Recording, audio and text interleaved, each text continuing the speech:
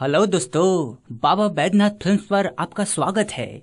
New original track पाने के लिए बाबा बैद्यनाथ फिल्म्स को सब्सक्राइब कीजिए। और हाँ बेल आइकन दबाना ना भूलें।